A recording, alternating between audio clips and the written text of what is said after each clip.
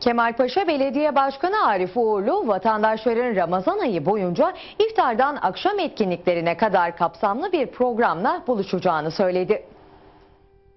kullanmayı. Hayır, kapısına patates bir tane tezkere. Mübarek ay boyunca Kemalpaşa Belediyesi'nin Adnan Menderes Demokrasi Meydanı'nda her akşam Ramazan programı var.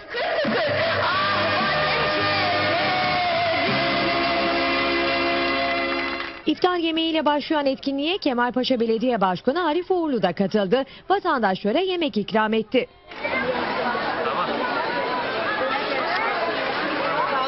Program daha sonra ilahiler, Hacivat Karagöz oyunu ve kantoya kadar birçok etkinlikle sürdü.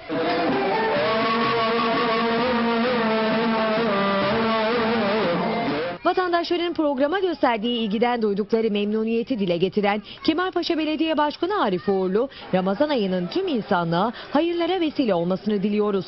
Bu güzel günleri belediyemizin sunduğu hizmetlerle yaşamalarını arzuluyoruz diye konuştu. Almanya'nın Bremen